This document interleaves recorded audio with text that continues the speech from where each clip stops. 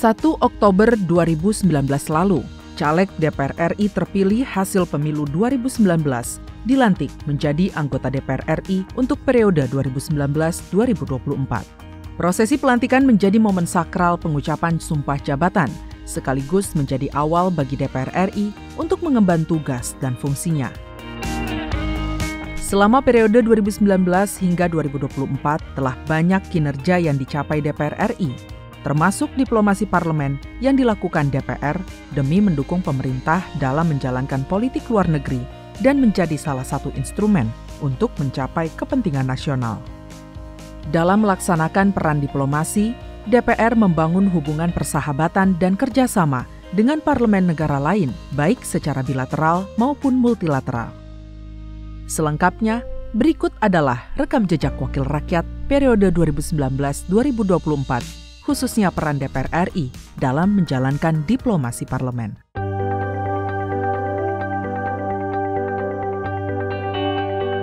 Pada tahun sidang 2019-2020, diplomasi parlemen yang dilakukan DPR RI terkendala merebaknya kasus COVID-19. Namun, DPR tetap aktif melakukan diplomasi parlemen, baik hadir secara langsung maupun secara virtual. Dalam berbagai forum, DPR RI aktif menyuarakan isu-isu internasional yang menjadi perhatian global. Di antaranya adalah isu tentang perdamaian di Timur Tengah, khususnya situasi di Palestina, isu ketegangan di Laut Cina Selatan, kerjasama internasional untuk penanggulangan COVID-19, kejahatan transnasional berupa ancaman narkoba, krisis kemanusiaan yang dialami etnis Rohingya di Myanmar, pemberdayaan perempuan, dan kesetaraan gender – isu pendidikan, dan isu lingkungan terkait perubahan iklim.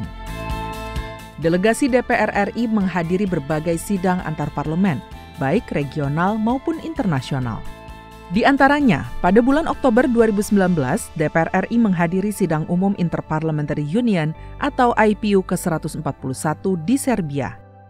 Beberapa isu yang disuarakan delegasi Indonesia antara lain tentang pentingnya hukum internasional dan isu kesetaraan gender.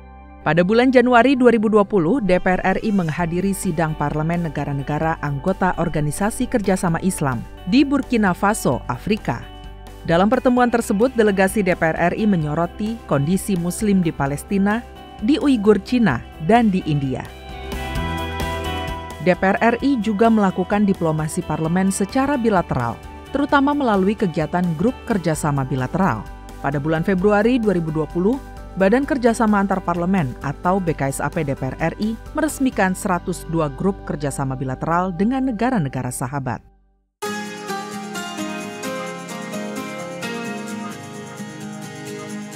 Memasuki tahun sidang 2020-2021, masih dalam kondisi pandemi COVID-19, DPR tetap berkomitmen melaksanakan diplomasi parlemen. Di berbagai forum, DPR RI menyuarakan sejumlah isu internasional, yaitu penguatan kerjasama masyarakat internasional untuk penanganan pandemi COVID-19. Pentingnya penyusunan legislasi dan anggaran yang ramah pembangunan berkelanjutan, pemberdayaan perempuan, dan kesetaraan gender, stabilitas keamanan dan perdamaian kawasan, serta drug-free zone ASEAN. DPR juga secara konsisten menyuarakan kemerdekaan Palestina. DPR menghadiri berbagai forum multilateral, baik tingkat global maupun regional. Di antaranya adalah The Six Mikta Speakers Consultation yang dilaksanakan secara virtual pada Desember 2020. Forum konsultasi ketua parlemen dari negara Meksiko, Indonesia, Korea Selatan, Turki, dan Australia ini membahas berbagai permasalahan di era pandemi. DPR RI juga melakukan diplomasi bilateral dengan parlemen ataupun duta besar dari negara sahabat, baik secara tatap muka maupun virtual. Salah satunya dengan kunjungan diplomasi ke negara sahabat untuk penguatan hubungan bilateral.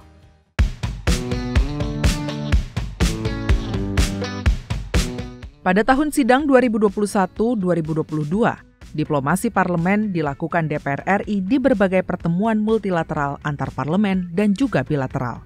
DPR juga sukses menjadi tuan rumah dalam helatan Forum Internasional Interparliamentary Union atau IPU ke-144. Berbagai isu internasional menjadi perhatian DPR RI pada tahun sidang 2021-2022. Di antaranya adalah pemulihan pasca pandemi COVID-19, terutama distribusi vaksin yang merata. Komitmen mencapai sasaran pembangunan berkelanjutan, memerangi perubahan iklim, krisis demokrasi, dan kemanusiaan di Myanmar, pemberdayaan perempuan dan kesetaraan gender, ekonomi digital, pemberantasan korupsi, dan kemerdekaan Palestina yang terus disuarakan oleh DPR. Isu-isu tersebut disuarakan DPR RI di berbagai forum, baik hadir secara langsung maupun virtual. Pada September 2021, DPR RI dan IPU menyelenggarakan pertemuan Parlemen Dunia tentang pencapaian tujuan pembangunan berkelanjutan atau SDGs. Pertemuan virtual tersebut mengangkat isu tentang mengubah tantangan pandemi COVID-19 menjadi peluang untuk mencapai SDGs. Pada November 2021, delegasi DPR RI menghadiri sidang Interparliamentary Union atau IPU ke-143 di Madrid, Spanyol. Dalam pertemuan tersebut, DPR RI aktif menyerukan agar parlemen dunia mendukung kemerdekaan Palestina dan mendorong reformasi hukum yang responsif kesetaraan gender. Indonesia sukses menjadi tuan rumah helatan sidang Interparliamentary Union atau IPU ke-144 pada 20 hingga 24 Maret 2022 lalu. Dengan tema seputar perubahan iklim, sidang IPU ke-144 di Bali dihadiri oleh 778 delegasi dari parlemen-parlemen negara di dunia. Keberhasilan DPR dalam menyelenggarakan IPU ke-144 tercermin dari suksesnya pertemuan-pertemuan di setiap sesi sidang dan juga pencapaian hasil berupa outcome dokumen. Yang pertama adalah Nusa Dua Declaration on Getting to Zero yang merupakan bentuk komitmen Parlemen Dunia dalam memerangi perubahan iklim. Kedua, resolusi yang mendorong negara-negara untuk menyelesaikan konflik melalui pendekatan yang komprehensif, inklusif, dan jalur dialog untuk menghasilkan perdamaian yang langgeng. Tiga, resolusi yang mengingatkan parlemen harus ikut mengawal dan memastikan bahwa teknologi informasi dan komunikasi dapat diakses untuk menggerakkan sektor pendidikan, termasuk di masa pandemi. Dan terakhir, resolusi yang merupakan emergency item yang mendorong perdamaian konflik Rusia-Ukraina dengan menghormati hukum internasional dan piagam PBB. DPR RI melakukan diplomasi bilateral, terutama melalui grup kerjasama bilateral DPR RI dengan parlemen negara sahabat. Diplomasi bilateral juga dilakukan melalui penerimaan tamu luar negeri yang berkunjung ke DPR RI, baik dari unsur parlemen maupun non-parlemen.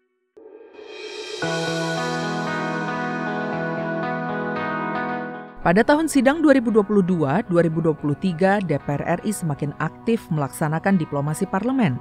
Dalam berbagai forum antar parlemen, DPR RI aktif menyuarakan isu-isu internasional. Di antaranya adalah untuk mengakhiri konflik Rusia dan Ukraina, penanganan dampak perubahan iklim, penerapan ekonomi hijau untuk pemulihan ekonomi dan pembangunan berkelanjutan, hak rakyat atas air bersih, kepemimpinan perempuan dalam pemulihan pasca pandemi COVID-19, pemberantasan korupsi, keamanan siber, dan kemerdekaan Palestina yang selalu disuarakan oleh DPR RI. Pada tanggal 5 hingga 7 Oktober 2022, DPR RI menghelat The 8 G20 Parliamentary Speaker Summit atau P20. Pertemuan yang dihadiri oleh pimpinan parlemen dari negara-negara anggota G20 ini membahas isu tentang pemulihan ekonomi global, pembangunan berkelanjutan, dan tantangan global lainnya.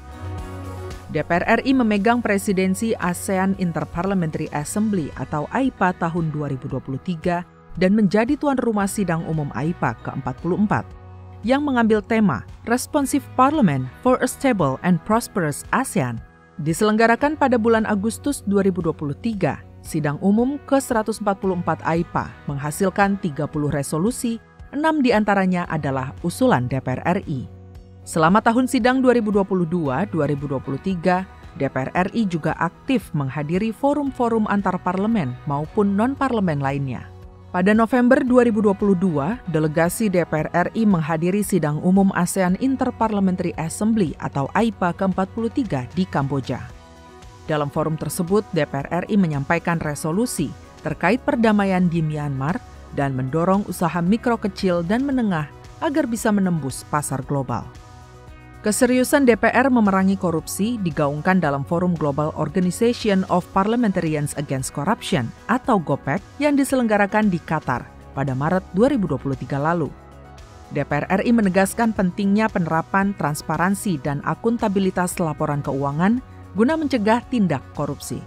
Pada bulan Maret 2023, delegasi DPR RI menghadiri sidang umum ke-146 Interparliamentary Union di Bahrain. Dalam forum tersebut, DPR menyoroti isu meningkatnya sentimen Islamofobia melawan intoleransi beragama dan diskriminasi rasial. Sepanjang tahun sidang 2022-2023, DPR RI juga melakukan diplomasi bilateral dengan negara-negara sahabat. Pertemuan bilateral dilakukan DPR RI di sela-sela sidang antar parlemen ataupun dengan kunjungan langsung delegasi DPR RI ke negara sahabat. Selain itu, diplomasi bilateral DPR juga dilakukan dengan menerima kunjungan tamu luar negeri.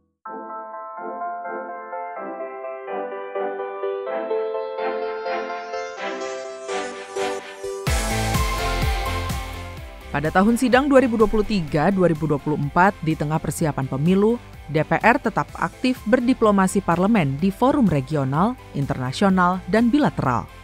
DPR RI melaksanakan diplomasi parlemen dengan aktif memperjuangkan isu-isu strategis internasional dalam berbagai forum, yakni isu terkait kependudukan Israel atas Palestina, perubahan iklim, anti korupsi, kepemimpinan politik perempuan, dan reformasi World Trade Organization –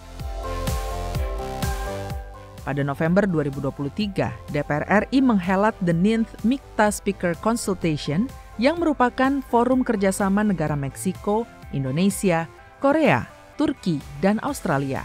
Pertemuan MIKTA menyepakati peneguhan komitmen MIKTA dalam memperkuat multilateralisme dengan mempercepat diplomasi parlemen. Pada Mei 2024, DPR menjadi tuan rumah Parliamentary Meeting on the occasion of the 10 World Water Forum – Pertemuan yang diinisiasi oleh DPR RI tersebut menghasilkan rekomendasi agar teknologi inovasi di sektor air bermanfaat bagi kelompok rentan dan terpinggirkan. Pada Juli 2024, DPR kembali menyelenggarakan the second meeting of Indonesia Pacific Parliamentary Partnership. Di sidang ini menghasilkan chair summary yang menegaskan komitmen Parlemen Negara Asia Pasifik untuk penguatan kerjasama dalam berbagai hal. Terkait pemilu 2024, DPR mengundang perwakilan negara sahabat dalam Election Visit Program 2024. Tercatat sebanyak 16 perwakilan negara sahabat terlibat untuk memonitor secara langsung jalannya pemungutan suara dalam pemilu 2024. Selain itu, DPR juga menghadiri berbagai forum antar parlemen lainnya. Pada Oktober 2023, delegasi DPR RI menyampaikan pesan perdamaian dalam sidang umum Interparliamentary Union atau IPU ke-147 di kota Luanda, Angola, Afrika Tengah. Ketua BKSAP DPR RI menyerukan kepada seluruh parlemen dunia untuk menghentikan kekejaman, penindasan, dan pendudukan Israel atas warga Gaza Palestina. Pada Juli 2023, delegasi DPR RI menghadiri sidang pleno Organisasi Parlemen Negara-Negara Anggota OKI di Pantai Gading, Afrika. Fadlizon menyerukan agar parlemen negara Oki mendukung gugatan terhadap Israel di Mahkamah Internasional, memboikot Israel, dan memobilisasi akses bantuan kemanusiaan bagi masyarakat Gaza. Selama tahun sidang 2023-2024, DPR RI juga aktif melakukan diplomasi bilateral dengan negara sahabat Pertemuan bilateral dilakukan di sela-sela sidang antar parlemen lewat kunjungan delegasi DPR dan lewat kunjungan tamu negara sahabat ke DPR RI. Melalui diplomasi parlemen, DPR menunjukkan pada dunia bahwa Indonesia berkomitmen untuk membangun dunia yang lebih baik serta membangun tata sosial, ekonomi, politik yang humanis, dan berkeadilan sosial. Selain itu, diplomasi parlemen juga memperkuat politik luar negeri Indonesia dalam memperjuangkan kepentingan nasional Indonesia.